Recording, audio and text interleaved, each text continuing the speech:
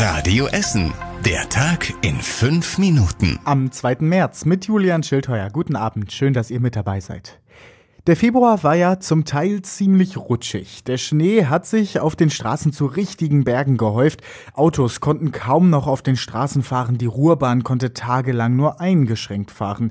Viele HörerInnen haben sich auch bei uns hier bei Radio Essen gemeldet und sich über den Winterdienst in der Stadt beschwert, der scheinbar nicht mehr mit der Arbeit hinterherkam. Jetzt hat der Aufsichtsrat der Entsorgungsbetriebe reagiert und Vorschläge gemacht, wie sich der Winterdienst bei uns in Essen verbessern soll. Das Ergebnis, der Winterdienst soll deutlich aufgerüstet werden. Die Entsorgungsbetriebe wollen 13 neue große Streufahrzeuge kaufen. Außerdem sollen weitere kleinere Fahrzeuge im Winter zu Streufahrzeugen werden.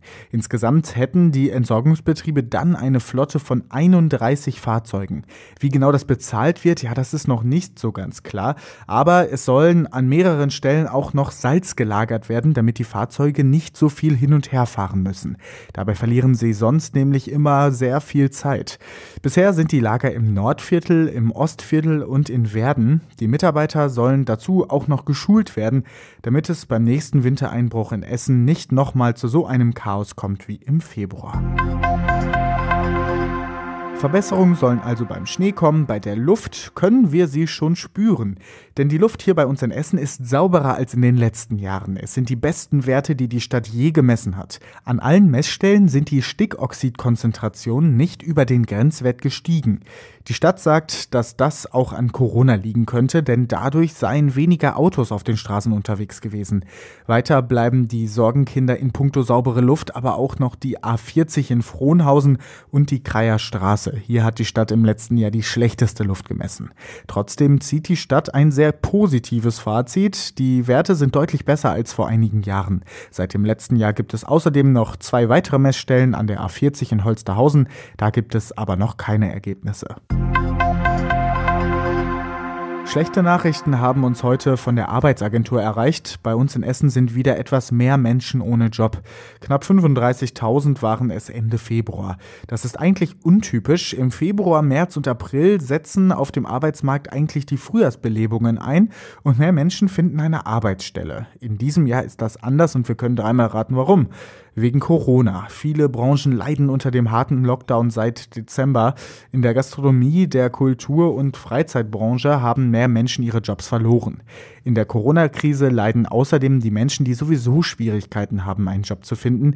Die Langzeitarbeitslosen finden gerade noch schlechter eine Arbeitsstelle als sonst. Die Arbeitsagentur hofft aber, dass sich die Zahlen bald verbessern. Es gebe nämlich einen kleinen Hoffnungsschimmer.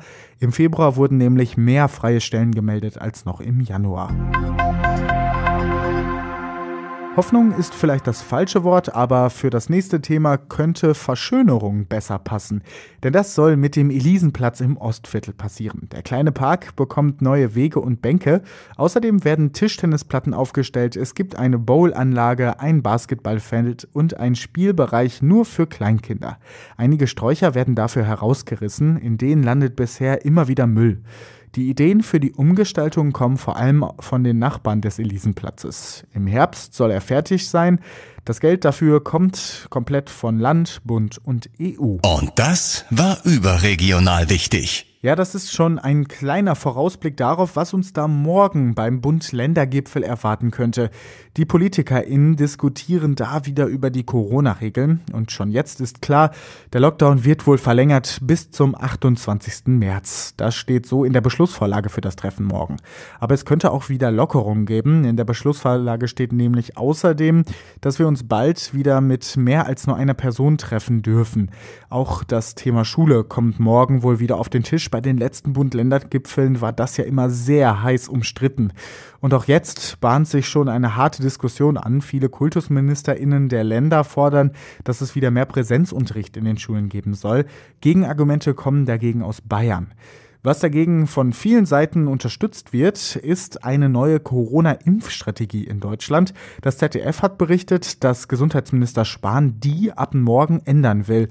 Hausärzte könnten dann schon impfen. Außerdem soll es mehr kostenlose Antigentests geben, mit denen man sich zweimal wöchentlich kostenlos auf das Coronavirus testen lassen könnte.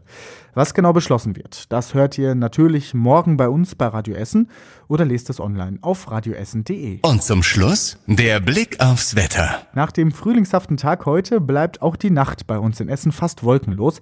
Deshalb bleibt es natürlich auch trocken. Die Temperaturen sinken aber auf 3 Grad.